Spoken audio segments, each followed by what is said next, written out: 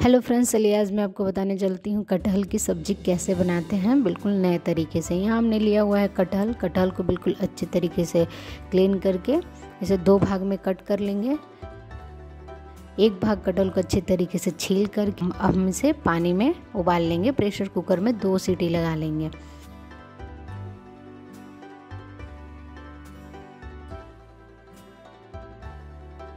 ये कटहल कितने अच्छे से हो चुका है। कटहल को हम एक छन्नी की मदद से छान लेंगे। छान करके और इसे हम आलू मैसर से मैश कर देंगे सारे कटहल को। बिल्कुल बारीक मैश करेंगे।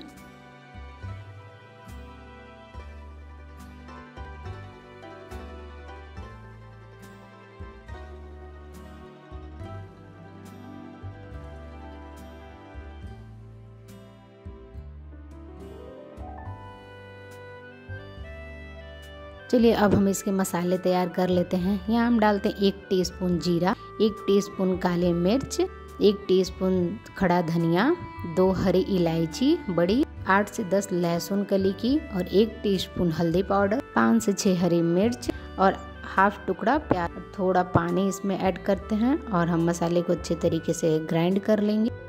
दो बारीक कटे हुए प्याज और यहाँ हम साथ में ही जो मसाला ग्राइंड किया हुआ था कटहल में अच्छी तरीके से डालकर और मिक्स करते हैं।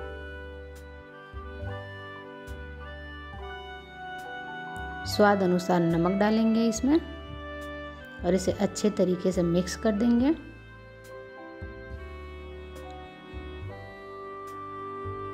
अब हम एक पैन को गरम कर लिया हुआ है। इसमें हम डालते हैं सरसों तेल।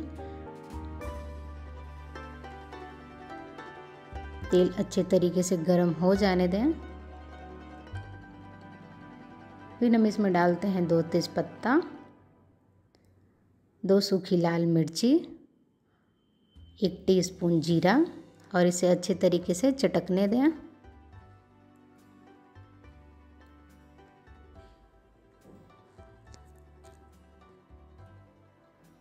अब हम इसमें डालते हैं जो कटहल के सारे मिक्स किए हुए थे इसमें हमने, और इसे हम अच्छे तरीके से मिक्स करके और धीमी आँच पे इसे हम पकाएँगे।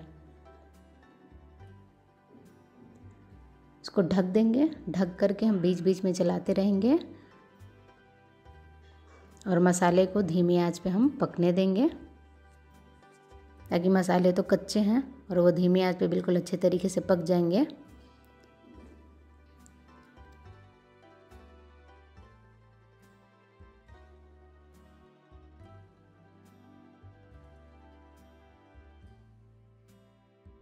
ये सब्ज़ी खाने में बहुत टेस्टी लगता है। देखिए, बिल्कुल इस तरीके से ये सब्ज़ी ड्राई हो जाएगा।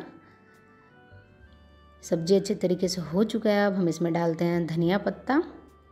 धनिया पत्ता डालकर इसे हम अच्छे तरीके से मिक्स कर लेंगे और गर्मा गर्म कटहल की सब्ज़ी हम सर्व करेंगे। दोस्तों, अगर ये कटहल की आपको डिशेस पसंद आई आई होगी तो प्लीज़ लाइक करें शेयर करें और कमेंट करना ना भूलें। थैंक यू और मेरे चैनल को सब्सक्राइब करें।